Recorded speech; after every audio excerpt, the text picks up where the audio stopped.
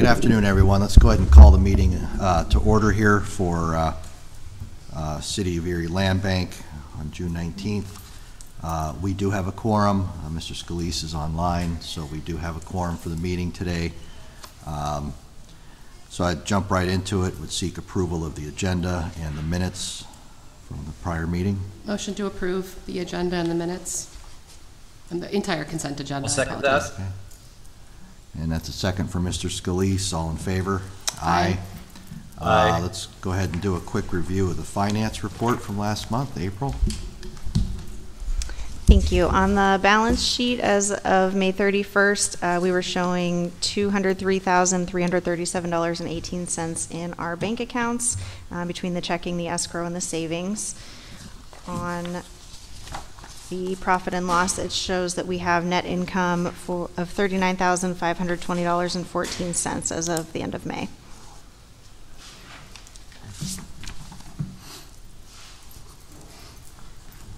I didn't see anything on there that was major change.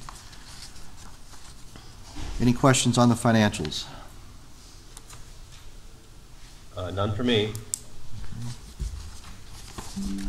Do you motion to approve? Okay, we have a motion to approve. Second, Second? all in favor? Aye. Aye.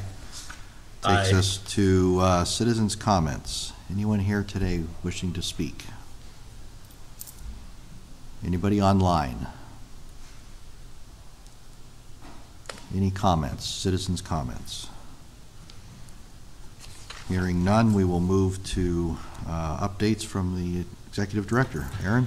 Uh, Just some brief update, really, the uh, residential properties associated with our 23 work plan, uh, declaration of taken was filed June 1st, and so now we're working through that process on those properties. And we'll continue to update the board, and Gene will do as well with his solicitor's report. That's it for today. Very good.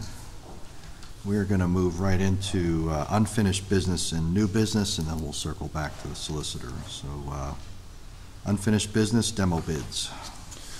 All right, so in front of you is a list of seven properties that have been put out for demolition and the bids associated with- those from, and the winning bidder, uh, and the amounts for the board to approve.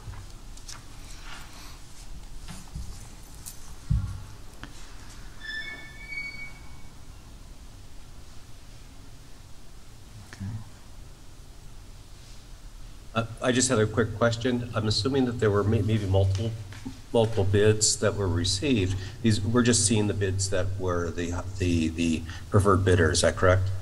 Yes, that is correct. Mul- These all received multiple bids. Okay, great, thank you. Is there a reason why we changed that up and only showed the one bid on here? Did we? I think it was more in an effort to, to reduce the amount of paper and- as opposed to showing you all the bid tabs. The bid tabs are loaded on erielandbank.org and Okay. available to the public. So they are available. So if they Somebody are wants to available. see it, okay. Yep. I'm Yeah, every okay bid with tab this is as on long there. as it's. Same. Yeah, this was available. more for just keep it Okay. short and simple for the board. Okay, yeah, as long as it's available. Okay, I don't have any questions. I don't either. Then I would seek a motion to approve the uh, demo bids as presented. I'll make that motion. And I'll second that motion. All in favor? Aye. Aye. Aye. None opposed. Takes us to demo authorization. All right, so just kind of along the lines of, of the demo bids, you know, these, several of these bids were received almost 30 days ago, basically shortly thereafter the last board meeting. So, uh, and a couple of them being priority properties, you know, with, with the way our policy currently is, the board approves the bids and then we enter into a contract. So it was Mindy's suggestion that, that we create more of a, a resolution, as long as we follow the policies and procedures, receive the bids as we would normally receive them, approve them, that we would have a board resolution to enter into a contract. We would enter into the contract and then seek board approval or just acknowledgement of the bids post contract signing. I think it was just really, the, the one key property being seventeen thirty-seven West Sixth Street, you know, Empire has been on really wanting to get that one going. We really want to get that property moving, but we had to wait till today's meeting to get the approval before we entered the contract, so. Can I ask, and I should know, and I apologize, what are our policies and procedures with regard to that? So you say that you would follow them, what would that generally be? That we would take the lowest bidder? Just, just summarize what Yeah, that we would be. would generally, the The policy and procedure doesn't even say that we have to take the lowest bidder. That's our, typically what we do. The policy and procedure is very general. It just states that there will, we will seek board approval, it- but it, it's very general. Does it also say how many bids you have to receive? It does not. It doesn't. Okay. No, we, we typically, we, we post it to the website that the RFP or is out for demo bids. We solicit to the list of demolition contractors that are typically interested in bidding. And then on the due date, you know, we, we open them. Have we ever not approved your demolition? I mean, since I've been on the board, I can't remember ever saying, no, we don't approve them. Can you remember in recent memory? No. Okay.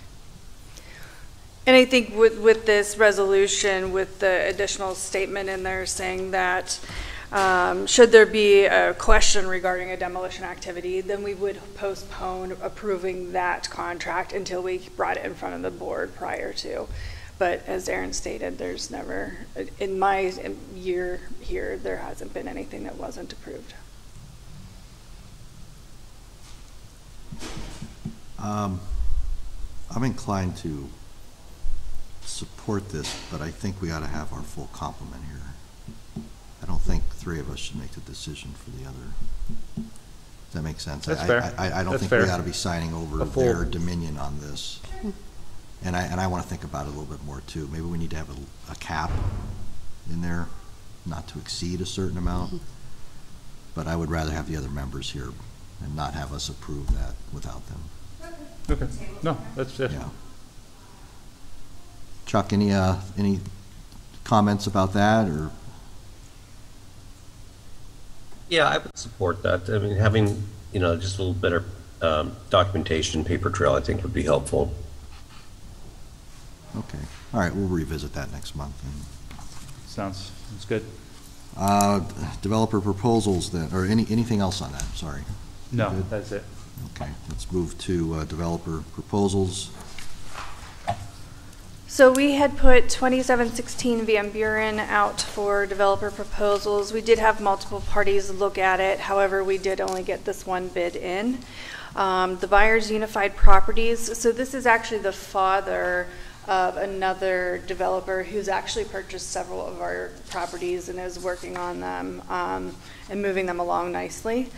Um, So his purchase price was the minimum offer of 8000 um, He did provide proof of funds. He's an outstanding citizen. There's no issues with past due taxes. He's local. He does not own any other blighted properties. He did provide a thorough plan, vision, and estimates to do the job. Um, So I personally don't have any issues with this developer and would recommend him for the purchase to develop this property. But I am open to any questions you might have. So we've worked directly with his son? We have not worked with him. We have worked with the son the on two projects already, and he's actually about to uh, take in a third one. Um, But this is the father, so it is a different uh, party. Mindy, off the top of your head, you know how many people you showed this property to? I would say probably like six. Okay.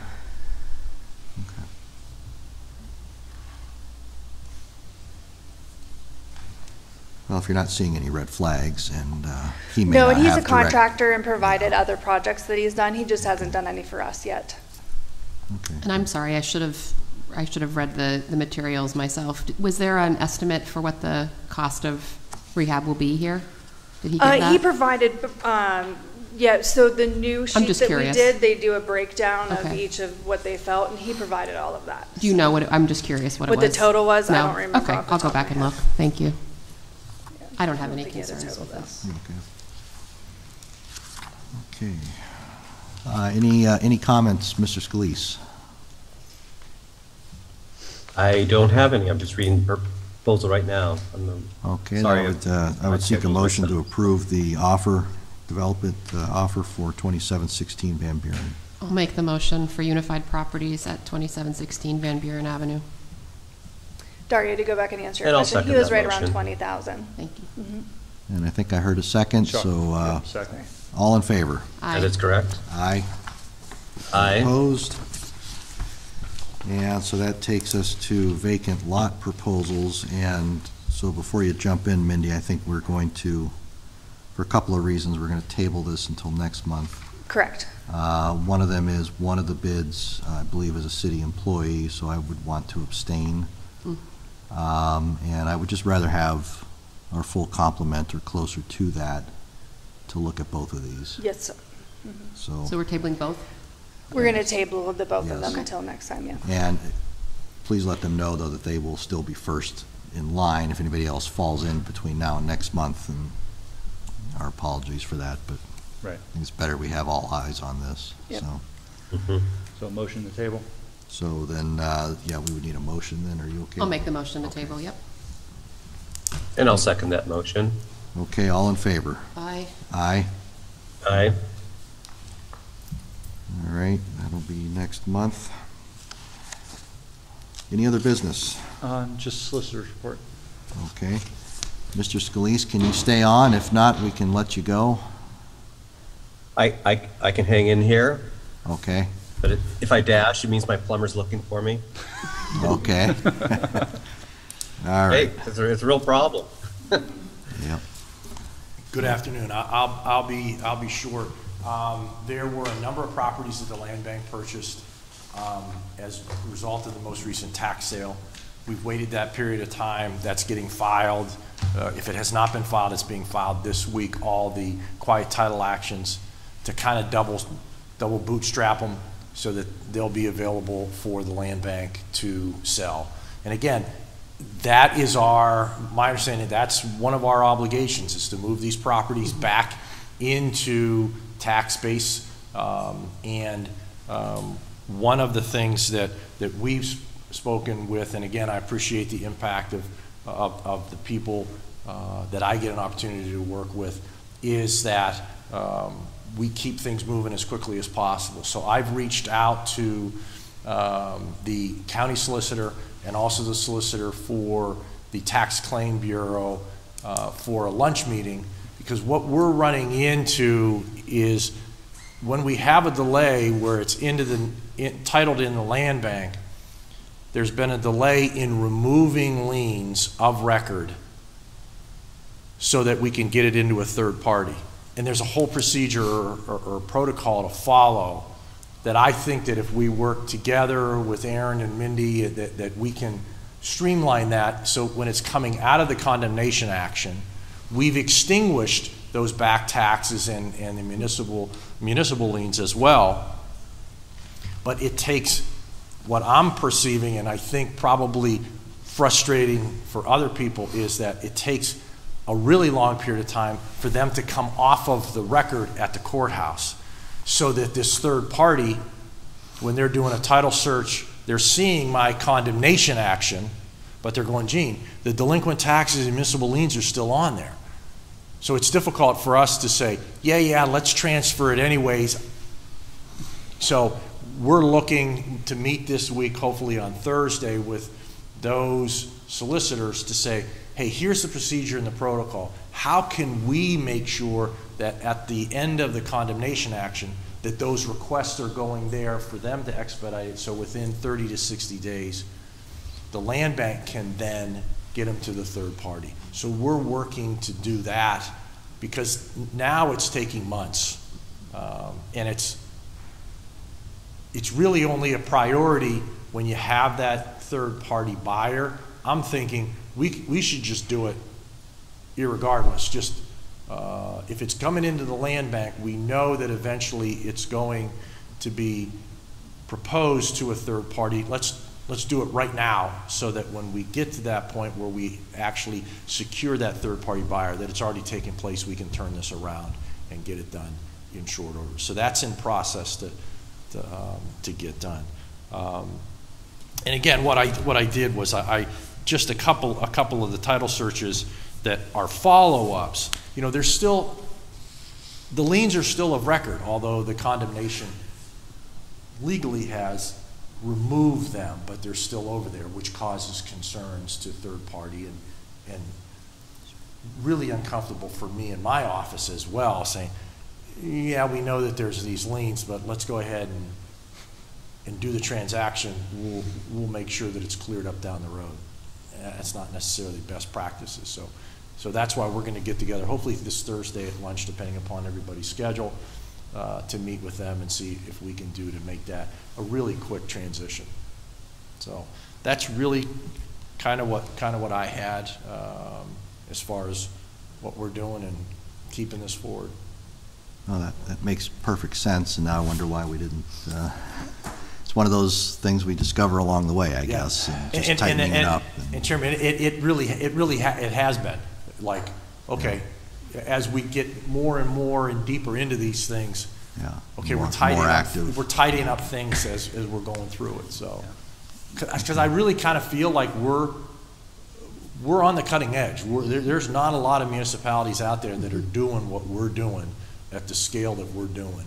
So, um, Yeah. um, Yeah, I was gonna say, it was, it was a lot easier when it was five or six properties a year, but at, at the volume we're Yeah. doing now, it's, it's causing a lot of problems, so, and a lot of, a lot of staff time to, to follow up with all of this on, on our end and on, on Gene's side. Yeah, Yeah, there is, there, there- there is, and it's taking, a- I mean, you know, a lot of time o- o- on both ends. You've got, you've got a potential buyer who wants it, and you want to get it to them, but, okay, we haven't circled back on this issue for three months now, we're behind, and it's gonna take, we know it's gonna take another thirty to sixty days to clarify that, so there's frustration levels, and, and we want to keep that going. So that's why I I appreciate the opportunity for uh, Aaron and Mindy to reach out to me, going, hey, Gene, we've got some bottlenecks here, what can we do to rectify it?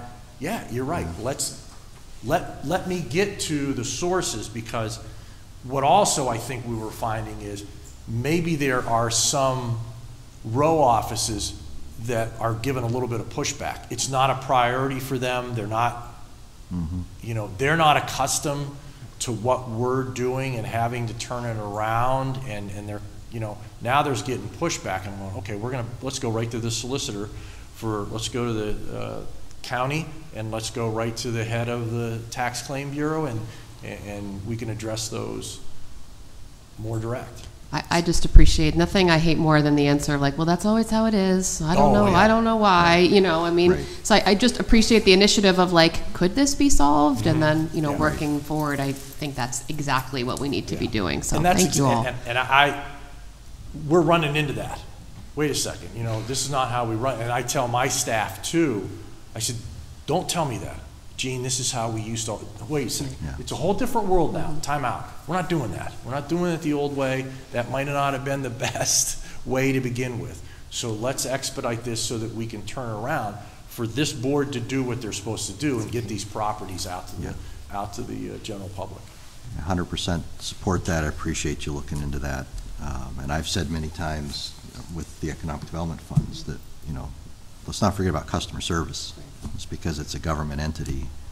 You know, we need to move at the speed of business. We need to move at the speed of buyers and sellers and not at the speed of how it was done historically. So anything along the way that you discover that you think we can improve on, we welcome that and I'm pretty sure we're going to support it. So thank you. Thank you. Okay, uh, if there were, uh, if there's no other business, I don't believe there was, I think we're no, no other business? good. Motion to uh, adjourn? Motion, Mr. Scalise, any comments, any questions? No, I, other than I won't be at the meeting next July, uh, so if there's um, work that you'd like me to do beforehand, I'll circle back there and make sure that my comments are available at July's meeting. Okay, Great, very good. I appreciate appreciate you taking the time to log on, and with that, uh, we have a motion to adjourn. All in favor? Aye. Aye. Okay, Aye. that's a wrap for today. Thank you.